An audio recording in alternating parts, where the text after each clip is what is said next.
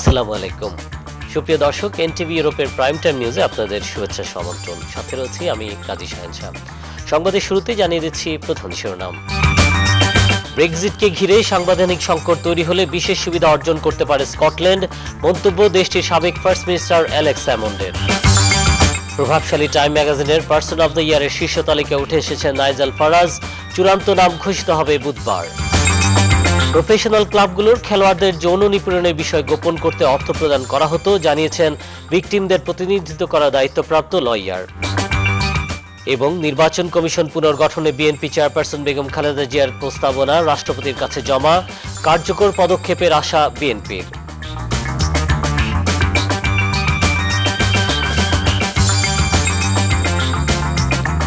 দর্শক, এবার জানিয়ে দেব পুরো সংবাদ, শুরুতেই ব্রিটেন প্রসঙ্গ। ব্রেক্সিটকে ঘিরে সাংবিধানিক সংকট তৈরি হলে সেটি বরং স্কটিশ রাজনীতিকে বিশেষ সুবিধাজনক স্থানে পৌঁছে দেবে বলে মনে করছেন দেশটির সাবেক first minister Alex Salmond. EU থেকে যুক্তরাজ্যের প্রস্থানকে ঘিরে আলোচনায় বাড়তি সুযোগের সৃষ্টি করবে এটি স্কটল্যান্ডের বর্তমান ফার্স্ট মিনিস্টার নিকোলা স্টার্জনের জন্য। ব্রেক্সিট নেগোসিয়েশনে তখন স্কটল্যান্ডের মতো অন্যান্য ডেভেলপড অ্যাডমিনিস্ট্রেশনগুলো তাদের নানা দাবি দাওয়া তুলে ধরতে পারবে ইইউর শীর্ষ নেতাদের সামনে। চলতি দশকের সবচেয়ে বড় কনস্টিটিউশনাল কেস চলাকালীন এসব মন্তব্য করেন এলেক্স স্যামন। লিসবন ট্রিটির আর্টিকেল ফিফটি কার্যকর করতে পার্লামেন্টের অনুমোদন প্রয়োজন হবে কিনা সে নিয়ে বর্তমানে শুনানি চলছে সুপ্রিম কোর্টে। আনুষ্ঠানিক ব্রেক্সিট বাস্তবায়নে স্কটিশ পার্লামেন্টের অনুমোদনের প্রয়োজন হবে কিনা সে নিয়েও সিদ্ধান্ত হবে এই শুনানিতে। বিশ্বসেরা প্রভাবশালী টাইম ম্যাগাজিনের পার্সন অব দ্য ইয়ারের শীর্ষ তালিকায় উঠে এসেছেন আলোচিত ব্রিটিশ রাজনীতিক নাইজেল ফারাজ। টাইমসের শীর্ষ স্থানটিতে আরও যাদের দেখা যেতে পারে বলে ধারণা করা হচ্ছে, তারা হলেন রাশিয়ান প্রেসিডেন্ট ভ্লাদিমির পুতিন ও সংগীত তারকা বিয়ন্সে। আগামী বুধবার ঘোষিত হতে যাচ্ছে টাইম ম্যাগাজিনের চলতি বছরের পার্সন অব দ্য ইয়ার। ম্যাগাজিনটির এডিটরদের মনোনয়নে শর্ট লিস্টে প্রভাবশালী আরও যারা জায়গা করে নিয়েছেন, তাদের মধ্যে রয়েছেন US president elect Donald Trump ও নির্বাচনে পরাজিত প্রার্থী ডেমোক্রেট হিলারি ক্লিন্টন। মূলত ইইউ রেফারেন্ডামের সময় দেশের পলিটিক্যাল স্টাবলিশমেন্টের বাইরে গিয়েও ব্রেক্সিটের পক্ষে যেভাবে তিনি জনমত গড়ে তুলেছেন এবং জনরাই নিজের সমর্থনের দিকে নিয়ে এসে সাফল্যের মুখ দেখিয়েছেন, সেটির উপর ভর করে এবারের পার্সন অব দ্য ইয়ারের শীর্ষস্থানে জায়গা করে নেন ফারাজ। দেশের বিভিন্ন প্রফেশনাল ক্লাবে খেলার সময় যৌন নিপীড়নের শিকার হওয়া ফুটবলারদের পরবর্তীতে বিষয়টি গোপন করতে অর্থ প্রদান করা হয় এবং চাইল্ড অ্যাবিউজের মতো এসব ক্রিমিনাল কেসের ঘটনা চেপে যেতে বা গোপন করতে এই অর্থ প্রদানের কাজটি প্রফেশনাল ফুটবল ক্লাবগুলোই করে থাকে বলে ভিকটিমরা অভিযোগ করছেন। আর এই তথ্য জানিয়েছেন ভিকটিমদের প্রতিনিধিত্ব করা দায়িত্বপ্রাপ্ত লয়ার। ধারণা করা হচ্ছে ক্লাবগুলোর কনফিডেন্সিয়ালিটি ক্লজ বা গোপনীয়তার আইনের সুযোগ নিয়ে ক্লাবগুলো এই নেককারজনক ঘটনা চাপা দেওয়ার চেষ্টা চালাতো এবং এতদিনে এতে সফলও হয়ে এসেছে ক্লাবগুলো। এরকম একজন ভিকটিম চেলসির সাবেক ফুটবলার গেরি জনসনের কাছে গত শনিবার ক্ষমা চায় প্রফেশনাল ক্লাবটি। ক্লাবের প্রাক্তন স্কাউট প্রধানের বিরুদ্ধে যৌন নিপীড়নের অভিযোগ আনে জনসন। পঞ্চাশ হাজার পাউন্ডের বিনিময়ে বিষয়টি চেপে যাওয়ার জন্য জনসনের কাছে লিখিত নেয় চেলসি ক্লাব। বাংলাদেশ প্রসঙ্গ। নির্বাচন কমিশন পুনর্গঠনে বিএনপি চেয়ারপারসন বেগম খালেদা জিয়ার দেয়ার প্রস্তাবনা রাষ্ট্রপতি বরাবর বঙ্গভবনে পৌঁছে দিয়েছে দলটি। বিএনপির পক্ষ থেকে বলা হয়, রাষ্ট্রপতির সহকারী সামরিক সচিব জানিয়েছে, সিঙ্গাপুর থেকে রাষ্ট্রপতি দেশে ফিরলে এ বিষয়ে রাজনৈতিক দলগুলোর সাথে আলোচনার উদ্যোগ নেবেন তিনি। অন্যদিকে বিএনপি মহাসচিব আশা করেন, কার্যকর পদক্ষেপ নিয়ে নির্বাচন কমিশন পুনর্গঠনের কার্যক্রম সফলভাবে সম্পন্ন করবেন রাষ্ট্রপতি। বিস্তারিত রিপোর্টে। নির্বাচন কমিশন পুনর্গঠনে গত আঠারো নভেম্বর সংবাদ সম্মেলনে তেরো দফা প্রস্তাবনা তুলে ধরেন বিএনপি চেয়ারপারসন বেগম খালেদা জিয়া। বেগম জিয়ার এই প্রস্তাবনা রাষ্ট্রপতির কাছে পাঠাতে প্রথমে মৌখিক ও পরবর্তীতে লিখিত আবেদন করা হয় বিএনপির পক্ষ থেকে। সবশেষ মঙ্গলবার সকালে বঙ্গভবনে সে প্রস্তাব নিয়ে যান বিএনপির দুই সদস্যের প্রতিনিধি দল। দলের ভাইস চেয়ারম্যান রুহুল আলম চৌধুরী ও সিনিয়র যুগ্ম মহাসচিব রিজবি আহমেদ, প্রস্তাবনার কপি রাষ্ট্রপতির সহকারী সামরিক সচিব ব্রিগেডিয়ার জেনারেল মাইনুর রহমানের কাছে পৌঁছে দিলে তিনি তা গ্রহণ করেন। সহকারী সামরিক সচিবের কাছে এটা পৌঁছে দিয়েছি এবং তিনি সেটা গ্রহণ করেছেন। এবং তিনি যেটি জানিয়েছেন যে মহামান্য রাষ্ট্রপতি তিনি শারীরিক অসুস্থতার কারণে বিদেশে গিয়েছেন চিকিৎসার জন্য, তিনি ফিরে আসবেন এগারো তারিখে। এরপরে ধারাবাহিক, ধারাবাহিকভাবে তিনি বিভিন্ন রাজনৈতিক দলের সাথে তিনি কথা বলবেন এবং তার কর্মসূচি শুরু করবেন, বিভিন্ন রাজনৈতিক দলের সাথে আলোচনা করবেন। এটি তারা জানিয়েছে। এই মুহূর্তে আমরা মনে করি না যে এই মুহূর্তে কোনো বাড়তি কোনো চাপের প্রয়োজন রয়েছে। ওনারা যেহেতু রাষ্ট্রপতির অফিস থেকে জানানো হয়েছে যে উনি আলোচনা শুরু করবেন তো you must hope for the best সমস্ত রাজনৈতিক দলের ঐক্যমতের ভিত্তিতে একটি নির্বাচন কমিশন শক্তিশালী নির্বাচন কমিশন গঠন করতে তিনি সক্ষম হবেন। দলের নয়াপল্টনের কেন্দ্রীয় কার্যালয়ে বিশ দলীয় জোটের মহাসচিব পর্যায়ের এক বৈঠক শেষে মির্জা ফখরুল ইসলাম আলমগীর এমন আশাবাদ প্রকাশ করে বলেন সব দলের অংশগ্রহণে অবাধ সুষ্ঠু ও গ্রহণযোগ্য নির্বাচন অসম্ভব। এ সময় তিনি নারায়ণগঞ্জ সিটি নির্বাচন নিয়েও মন্তব্য করেন। নির্বাচন কমিশন যদি তার দায়িত্ব পুরোপুরি পালন করে তাহলে অবশ্যই এই নির্বাচনে বিশ দলীয় জোটের সমর্থিত বিএনপির প্রার্থী অ্যাডভোকেট শকত হোসেন ধানের শীষ নিয়ে জয়যুক্ত হবেন। রোহিঙ্গাদেরকে সাময়িকভাবে আশ্রয় প্রদান ও মানবিক সাহায্যেরও আবেদন করা হয় সংবাদ সম্মেলন থেকে। Hasan Mahmud NTV news Dhaka. প্রধানমন্ত্রীর বিশেষ সহকারী মাহবুল হক শাকিল মারা গেছেন। ইনানিল্লাহি ওয়া ইনাইলাহি রাজিউন। আজ মঙ্গলবার রাজধানীর গুলশান দুইয়ের পঁয়ত্রিশ নম্বর সড়কের সাতাশ নম্বরের বাড়ি জাপানি রেস্তোরাঁ সামদাদো থেকে সাবেক এ ছাত্রলীগ নেতার মৃতদেহ উদ্ধার করা হয়। মাহবুল হক শাকিলের মৃত্যুর বিষয়টি নিশ্চিত করেছেন। প্রধানমন্ত্রীর কার্যালয়ের পরিচালক, নির্বাহী সেল বেসরকারি ইপিজেড সমর কুমার ঘোষ।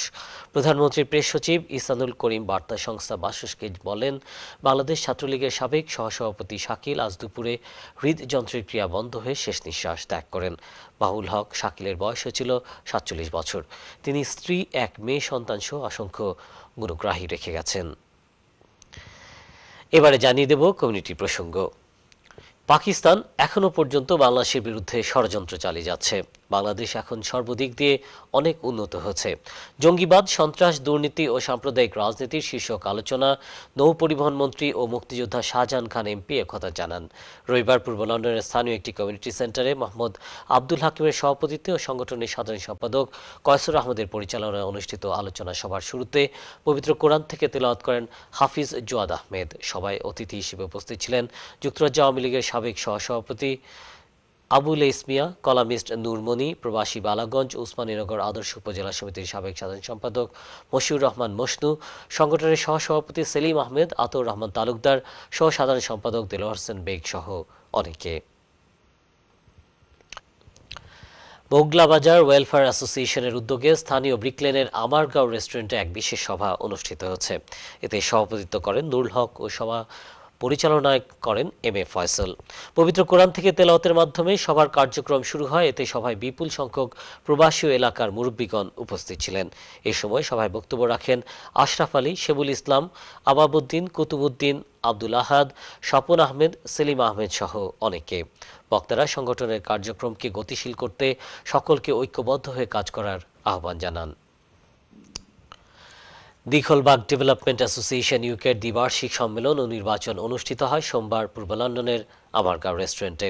আমাদের বিশেষ প্রতিনিধি ফজলুল হক জানান, সংগঠনের সভাপতি আলহাজ মোহাম্মদ মঈনুদ্দিনের সভাপতিত্বে ও সাধারণ সম্পাদক শামীম আহমদের পরিচালনায় সভায় পবিত্র কোরআন থেকে তেলাওয়াত করেন আবু ফাত্তা মহিদ। অনুষ্ঠিত সম্মেলনে প্রধান নির্বাচন কমিশনার, বিশিষ্ট শিক্ষাবিদ আশরাফ উদ্দিন নবনির্বাচিত কমিটির সকল সদস্যদের নাম ঘোষণা করেন। পরে নবনির্বাচিত সভাপতি, প্রধান অতিথি ও নির্বাচন কমিশনের সংগঠনের পক্ষ থেকে ফুলের তোড়া দিয়ে স্বাগত জানান। সম্মেলন অনুষ্ঠানে আরও বক্তব্য রাখেন প্রধান অতিথি দীঘলবাগ ইউপির সাবেক চেয়ারম্যান মোহাম্মদ সালিক মিয়া, সংগঠনের উপদেষ্টা কমিটির সভাপতি আলহাজ আবুল কালাম আজাদ ছোটন, সংগঠনের vice chair Mohammad Abdul Karim Masud vice chair Osi Mia, Alamgir Sarkar, উপদেষ্টা মোহাম্মদ রওশন আলী, আবুল হাসনাত আজাদ সোহান সহ আরও অনেকে। অতি অল্প সময়ে এই সংগঠনটি সবার কাছে সুনাম অর্জন করেছেন এবং এলাকায় উন্নয়নের জন্য ব্যাপক কার্যক্রম হাতে নিয়েছেন বলে বক্তারা উল্লেখ করেন। রাজনগর ওয়েলফেয়ার সোসাইটি ইউকের দ্বিবার্ষিক সভা ও নির্বাচন সম্পন্ন হয়েছে পূর্ব লন্ডনের একটি হলে। সোমবার অনুষ্ঠিত এই সভায় যুক্তরাজ্যের বিভিন্ন শহর থেকে সংগঠনের সদস্যবৃন্দ অংশগ্রহণ করেন। সাইদুর রহমান রেনু জেপির সভাপতিত্বে এবং মাকিনুর রশিদের পরিচালনা অনুষ্ঠিত নির্বাচন পূর্ব সভায় বিগত দুই বছরের কার্যক্রম তুলে ধরা হয়। এতে বক্তব্য রাখেন কমিউনিটি নেতা A K M Abu Taher Chowdhury, M A Mannan Atar Rahman Kuti, Abdul Hannan Tarafdar, Moinul Islam, Ruhul ইসলাম দুদু সহ অনেকে বক্তারা সংগঠনের বিভিন্ন কার্যক্রমের ভূয়সী প্রশংসা করেন। পাশাপাশি বিজয়ের মাসে স্বাধীনতা আন্দোলনের শহীদদের রুহের মাগফেরাত কামনা করা হয়। দ্বিতীয় পর্বে সাইদুর রহমান রেনুকে সভাপতি, মোহাম্মদ মাকিনুর রশিদ সাধারণ সম্পাদক এবং আব্দুল মুকিদ ফারুককে ট্রেজারার করে সাতষট্টি সদস্য বিশিষ্ট কার্যকরী কমিটি গঠন করা হয়। এছাড়া সভায় রাজনগরের মাওলানা আব্দুল রকিবের মর্মান্তিক মৃত্যুতে ট্যাংরা ইউনিয়নের সাবেক চেয়ারম্যান মোহাম্মদ আসকর ও ডক্টর রোয়াবুদ্দিনের পিতার মৃত্যুতে গভীর শোক এবং শোকাহত পরিবারবর্গের প্রতি সমবেদনা প্রকাশ করা হয়। লুটনে ভিকটিম সলিউশন অ্যান্ড নাফ অর্গানাইজেশনের আয়োজনে আলোচনা সভা অনুষ্ঠিত হচ্ছে। আমাদের লুটন প্রতিনিধি মাইনুল ইসলাম দুলাল জানান, সোমবার স্থানীয় বাংলাদেশি কমিউনিটি হল সিওয়াসিডিতে আয়োজিত সভায় সংগঠনের সভাপতি মুন্সি আমিন হক বাদীর সভাপতিত্বে ও মর্জানা বেগমের পরিচালনায় সভায় অন্যান্যের মধ্যে উপস্থিত ছিলেন অ্যাকাউন্টেন্ট রাজা খান, এবিএস সলিসিটরের জাহাঙ্গীর আলম সহ অনেকে। সভায় কারি ইন্ডাস্ট্রির বিভিন্ন সমস্যার কথা তুলে ধরে বিস্তারিত আলোচনা করা হয়। এছাড়াও লুটনে ক্রাইম বৃদ্ধি পাওয়ায় অভিভাবকদের আরও সচেতন হওয়ার আহ্বান জানান। সোমবার নর্থ ওয়েলসের বাঙ্গর শহরের ইসলামিক সেন্টার অ্যান্ড মসজিদে দেশ ও মুসলিম উম্মার শান্তি কামনা করে বিশেষ দোয়া ও রাতভর ওয়াজ মাহফিল অনুষ্ঠিত হচ্ছে। আমাদের লিভারপুর প্রতিনিধি ফখরুল আলম জানান, বাংলাদেশের সিলেট অঞ্চলের বিশিষ্ট শিক্ষানুরাগী জামিয়া মাদানিয়া ইসলামিয়া মাদ্রাসা ও এতিমখানা কাজীর বাজারের প্রতিষ্ঠাতা এবং অধ্যক্ষ ও বাংলাদেশ খেলাফত মজলিসের আমির মাওলানা হাবিবুর রহমান এতে ওয়াজ করেন। বাঙ্গুরের বিশিষ্ট কমিউনিটি ব্যক্তিত্ব কাউন্সিলর মোহাম্মদ সুলতান আহমেদের সভাপতিত্বে অনুষ্ঠিত ওয়াজ মাহফিল অনুষ্ঠানে আরও ওয়াজ করেন জামিয়া মাদানিয়ার ওয়েলফেয়ার ট্রাস্টের খতিব মাওলানা তাজুল ইসলাম। অন্যান্যের মধ্যে আরও উপস্থিত ছিলেন মসজিদ কমিটির সাবেক চেয়ার আলতাফ হোসেন, জিএসসির সাবেক central chair Mostom Ali JP, জিএসসির Chester and North ওয়েলসের চেয়ার আব্দুল মালিক, আজাদউদ্দিন, শাহনুর রাজা সহ অনেকে। শহীদ প্রেসিডেন্ট জিয়াউর রহমানের মাজার স্থানান্তরের ষড়যন্ত্র, খালেদা জিয়ার বিরুদ্ধে গ্রেফতারি পরোয়ানা বাতিল এবং নিরপেক্ষ নির্বাচন কমিশন গঠনের দাবিতে সভা করেছে স্পেন বিএনপির নবগঠিত কমিটি। আমাদের স্পেন প্রতিনিধি জাফরুল ইসলাম সোমবার মাদ্রিদের স্থানীয় এক রেস্টুরেন্টে সংগঠনের সভাপতি আব্দুল কায়ম পঙ্কির সভাপতিত্বে এবং সাধারণ সম্পাদক মনোয়ার হোসেন মনুর পরিচালনা অনুষ্ঠিত প্রতিবাদ সভায় দেশের গণতন্ত্র ও বর্তমান সরকারের আলোচনা করে বক্তব্য রাখেন আব্দুল কফির মিলন, সোহেল আহমেদ রমিজুদ্দিন মোতালিব বাবুল, আবু সায়েম রাসেল, রিগান সহ অনেকে। বক্তারা এই সময় রোহিঙ্গার জন্য বর্ডার সাময়িক খুলে দেওয়ার আহ্বান জানান। খেলাধুলার সংবাদ। আন্দ্রে রাসেলের অলরাউন্ডার নৈপুণ্যে সহজ জয়ে বিপিএল এর ফাইনালে পৌঁছেছে সাকিব আল হাসানের ঢাকা ডায়নামাইটস। আম্পায়ারের দুই ভুল সিদ্ধান্তের পর মুখ থুবড়ে পড়া খুলনা টাইটান্স চুয়ান্ন রানে হেরেছে ফাইনালে যাওয়ার প্রথম লড়াইয়ে। আরেকটা সুযোগ আছে মাহমুদুল্লাহর দলের। বুধবার দ্বিতীয় কোয়ালিফায়ারে রাজশাহী কিংসের পক্ষে খেলবে খুলনা। এর আগে এলিমিনেটর ম্যাচে চিরগং ভাইকিংসকে বিদায় করে ড্যারেন সামির রাজশাহী। টপ অর্ডারের ব্যর্থতার পর আন্দ্রে রাসেলের ঝড়ো ব্যাটিংয়ে আট উইকেটে একশো রান করে ঢাকা। ষোলো ওভার, দুই বলে খুলনা গুটিয়ে যায় ছিয়াশি রানে। মাত্র দুই ব্যাটসম্যান পৌঁছায় দুই অঙ্কে। এ নিয়ে দ্বিতীয়বার একশো রানের নিচে অল আউট হলো দলটি। উয়েফা চ্যাম্পিয়ন্স লিগের নকআউট পর্ব নিশ্চিত হয়েছে আগেই, তবে গ্রুপ সেরা হতে বর্সিয়া ডটমুন্ডের বিপক্ষে ফিরতি লেগে জয়ের বিকল্প নেই রিয়াল মাদ্রিদের। জার্মান ক্লাবটির বিপক্ষে গ্রুপ পর্বের শেষ ম্যাচটিকে তাই ফাইনাল হিসেবে দেখছেন কোচ জিনেদিন জিদান। গত শনিবার লা লিগায় চিরপ্রতিদ্বন্দ্বী বার্সেলোনার মাঠে হারতে বসা ম্যাচে শেষ মুহূর্তে গোল করে মূল্যবান এক পয়েন্ট নিয়ে মাঠ ছাড়ে চলতি মৌসুমে দারুণ ছন্দে থাকা রিয়াল। ইউরোপ চ্যাম্পিয়ন্সদের সামনে এবার ডটমুন্ড চ্যালেঞ্জ। ঘরের মাঠ সান্তিয়াগো বের্নাবেউয়ে হতে যাওয়া লড়াইটি জিদানের অধীনে রিয়ালের পঞ্চাশতম ম্যাচ হবে। এবছরের শুরুতে প্রধান কোচ হিসেবে দায়িত্ব নেওয়ার পর স্পেনের সফলতম ক্লাবটির হয়ে এখন পর্যন্ত মাত্র দুটি ম্যাচে হেরেছেন এই ফরাসি কোচ।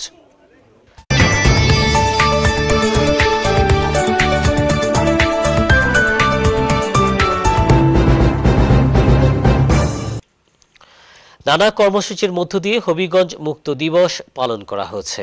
দিবসটি স্মরণে আজ বিভিন্ন কর্মসূচি পালন করেছে হবিগঞ্জ সদর উপজেলা মুক্তিযোদ্ধা কমান্ড। সকাল দশটায় মহান মুক্তিযুদ্ধে শহীদ মুক্তিযোদ্ধাদের স্মরণে মুক্তিযোদ্ধা স্মৃতিস্তম্ভে পুষ্পস্তবক অর্পণ করা হয়। এ সময় জেলা প্রশাসক সাবিনা আলম, অতিরিক্ত জেলা প্রশাসক রাজস্ব মোহাম্মদ রকুনউদ্দিন হবিগঞ্জ জেলা মুক্তিযোদ্ধা সংসদের কমান্ডার মুক্তিযোদ্ধা মোহাম্মদ আলী পাঠান, সদর উপজেলা মুক্তিযোদ্ধা সংসদের কমান্ডার মুক্তিযোদ্ধা আব্দুস শহীদ সহ মুক্তিযোদ্ধা ও মুক্তিযোদ্ধা পরিবারের সদস্যবৃন্দ উপস্থিত ছিলেন। পরে একটি বিজয় র্যালি শহর প্রদক্ষিণ করে। বিএনপির কেন্দ্রীয় নির্বাহী কমিটির যুগ্ম মহাসচিব সৈয়দ মোয়াজ্জেম হোসেন আলাল বলেছেন, দেশের সামনে একটি বড় দুর্দিন রয়েছে। আওয়ামী লীগ, বিএনপির মূল নেতৃবৃন্দকে সাজা দিয়ে কারাগারে রেখে দলের কিছু লোককে লোভ লালসা দিয়ে হাতে নিয়ে নির্বাচন দেওয়ার পরিকল্পনা করছে। তারা মরহুম জিয়াউর রহমানের মাজার সরানোরও অপচেষ্টা চালাচ্ছে। তিনি আরও বলেন, আওয়ামী লীগ বর্তমানে টেস্ট কেস হিসেবে কয়েকটি কাজ হাতে নিয়েছে। এসব টেস্ট কেসে কোনোভাবে উত্তীর্ণ যাতে না হতে পারে, সে লক্ষ্যে এখন থেকে সবাইকে ঐক্যবদ্ধভাবে কাজ করার আহ্বান করেন। শনিবার বিকেল তিনটায় মৌলভীবাজার সদর উপজেলার বাহার মর্দনে জেলা বিএনপি আয়োজিত কর্মী সমাবেশে একথা বলেন তিনি। জেলা বিএনপির সভাপতি ও সাবেক সংসদ সদস্য এম নাসির রহমানের সভাপতিত্বে অন্যান্যের মধ্যে বক্তব্য রাখেন কেন্দ্রীয় নির্বাহী কমিটির সাংগঠনিক সম্পাদক ডক্টর সাক্ষাৎ হাসান জীবন, সহসাংগঠনিক সম্পাদক ও সাবেক সংসদ সদস্য কলিমুদ্দিন মিলন, এম এ মুকিত, এছাড়াও উপজেলা ও পৌর কমিটির নেতৃবৃন্দ বক্তব্য রাখেন। মৌলভীবাজার শহরের দ্বারক এলাকায় ব্যবসায়ী ফারুক আহমেদের বাসায় দুর্ধর্ষ ডাকাতি সংঘটিত হয়েছে। রাতে ডাকাত দল প্রথমে বাসার নাইট গার্ডকে হাত পা বেঁধে বাসার দক্ষিণ দিকের জানলার লোহার গ্রিল কেটে ঘরে প্রবেশ করে। এ সময় ডাকাতরা বাসার লোকজনকে ঘুম থেকে ডেকে তুলে অস্ত্রের মুখে জিম্মি করে হাত পা বেঁধে আটকে রাখে। পরে ডাকাতরা ঘরে বিভিন্ন কক্ষে তল্লাশি করে একচল্লিশ ভরি স্বর্ণালঙ্কার ও নগদ আট লক্ষ টাকা সহ প্রায় পঁচিশ লক্ষ টাকার মালামাল লুট করে নিয়ে যায়। সিএনজি ফিলিং স্টেশন ব্যবসায়ী ও বাসার মালিক ফারুক আহমেদ জানান, গত রাত সোয়া তিনটার দিকে জানলার গ্রিল কেটে আট থেকে দশ জনের ডাকাত দল ঘরে প্রবেশ করে তাকে সহ পরিবারের অন্যান্য সদস্যদের হাত পা বেঁধে আটকে রেখে বিভিন্ন কক্ষে তল্লাশি চালায়। মিয়ানমারের রাখাইন রাজ্যে রোহিঙ্গাদের গণহত্যা ও নির্যাতনের প্রতিবাদে সুনামগঞ্জে আইনজীবীরা মানববন্ধন কর্মসূচি পালন করেছেন। দুপুরে জেলা আইনজীবী সমিতির উদ্যোগে ঘণ্টাব্যাপী এই মানববন্ধন কর্মসূচি পালন করেন। মানববন্ধন চলাকালে বক্তব্য রাখেন জেলা আইনজীবী সমিতির সভাপতি মোহাম্মদ আব্দুল মজিদ, সাধারণ সম্পাদক মোহাম্মদ শেরেনুর আলী, সমিতির সাবেক সভাপতি আফতাবুদ্দিন আহমদ। মানববন্ধনে আরও উপস্থিত ছিলেন সিনিয়র আইনজীবী মোহাম্মদ ফজলুল হক আসপিয়া হোসেন তৌফিক চৌধুরী, সৈয়দ শায়েক আহমেদ রবিউল্লাইস রোকেশ, মোহাম্মদ মফসির মিয়া সহ অনেকে। মানববন্ধনে বক্তারা জানান, মিয়ানমারের রাখাইন রাজ্যে রোহিঙ্গাদের গণহত্যা চালাচ্ছে সে দেশের রাষ্ট্রীয় বাহিনী। এই মানবতা বিরোধী অপরাধ বন্ধে জাতিসংঘ দায়সারা ভূমিকা পালন করছে। রোহিঙ্গাদের জীবন ও সম্পদ রক্ষায় বিশ্ব নেতৃবৃন্দকে মিয়ানমারের উপর কঠোর চাপ প্রয়োগের আহ্বান জানান আইনজীবীরা। সিলেটের জৈন্তাপুর উপজেলায় পটকা মাছ খেয়ে বিষক্রিয়ায় একই পরিবারের তিনজন সহ পাঁচজনের মৃত্যু হয়েছে। আজ বিকেলে হাসপাতালে চিকিৎসাধীন অবস্থায় একে একে তাদের মৃত্যু হয়। এই ঘটনায় আরও আঠারো জনকে আশঙ্কাজনক অবস্থায় Sylhet MG Osmani medical college হাসপাতালে ভর্তি করা হয়েছে। নিহত ব্যক্তিরা জৈন্তাপুর উপজেলার দরবস্থ উত্তর মহাল গ্রামের বাসিন্দা। এছাড়া একই গ্রামের বারো জন ও গর্দনা গ্রামের ছয় জন হাসপাতালে ভর্তি রয়েছেন। এর মধ্যে তিন শিশু সহ আট জনের অবস্থা সংকটাপন্ন। তবে হাসপাতালে আসা অসুস্থদের পরিবার জানিয়েছে, দশ থেকে বারোটি পরিবার গতকাল পটকা মাছ বাজার থেকে কিনে আনে। তাদের অনেকেই এখন অসুস্থ হয়ে হাসপাতালে আসছে। তাই অসুস্থের সংখ্যা আরও বাড়বে বলে জানান তারা। দর্শক, সংবাদ শেষ করব, তবে শিরোনাম জানিয়ে দিচ্ছি আবারও। ব্রেক্সিটকে ঘিরে সাংবিধানিক সংকট তৈরি হলে বিশেষ সুবিধা অর্জন করতে পারে স্কটল্যান্ড, মন্তব্য দেশটির সাবেক ফার্স্ট মিনিস্টার অ্যালেক্স স্যামন্ডের প্রভাবশালী টাইম ম্যাগাজিনের পার্সন অব দ্য ইয়ারের শীর্ষ তালিকায় উঠে এসেছেন নাইজাল ফারাজ। চূড়ান্ত নাম ঘোষিত হবে বুধবার। প্রফেশনাল ক্লাবগুলোর খেলোয়াড়দের যৌন নিপীড়নের বিষয় গোপন করতে অর্থ প্রদান করা হতো, জানিয়েছেন ভিকটিমদের প্রতিনিধিত্ব করা দায়িত্বপ্রাপ্ত লয়ার। এবং নির্বাচন কমিশন পুনর্গঠনে বিএনপি চেয়ারপারসন বেগম খালেদা জিয়ার প্রস্তাবনা রাষ্ট্রপতির কাছে জমা, কার্যকর পদক্ষেপের আশা বিএনপির। এই ছিল আমাদের হাতে থাকা এনটিভি ইউরোপের প্রাইম টাইম নিউজের সর্বশেষ আয়োজন। সাথে থাকার জন্য সবাইকে ধন্যবাদ। আল্লাহ